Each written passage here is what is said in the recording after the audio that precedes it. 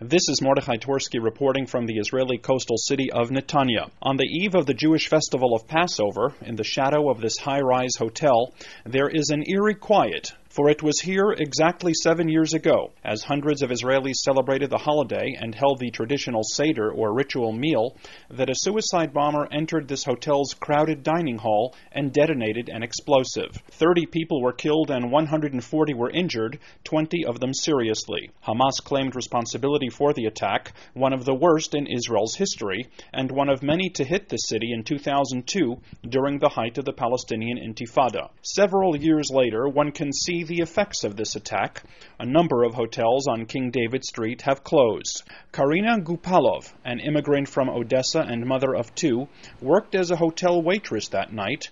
Her life and her body have been forever altered. The psychological impact was quite severe. I'm still afraid of going to public places. As for my medical problems, I sustained serious internal injuries from the force of the blast. I was hospitalized for a month. They operated on me for five or six hours, and till this day, I'm still undergoing treatments. There are five ball bearings in Karina's body. The other four are embedded in her back, shoulders, and chest. On that fateful night, French born Corinne Hamami had not yet arrived at the hotel, where her 44 year old husband Amiram father of six and hotel manager, was welcoming guests in the main dining hall when the blast occurred. He was killed. One of three children at the hotel at the time was injured. Everything had looked so beautiful. The tables were set for the holiday. We were all dressed up and ready. The people came to celebrate. And then the terrorist came, blowing everything up here.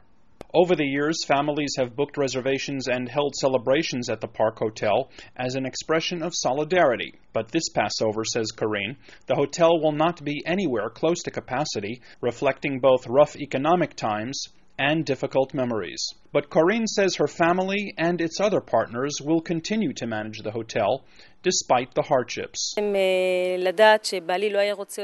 My husband would want me to continue, not to give in, not to fade away, or just to die out here. He would want to see this hotel continue to persevere and to function. For this is actually our triumph, the triumph of all Jews, that we continue with our lives despite everything that happens to us. For Corinne, who survived the attack, Passover brings new meaning. Despite the severity of this tragedy, Passover is still a holiday for me.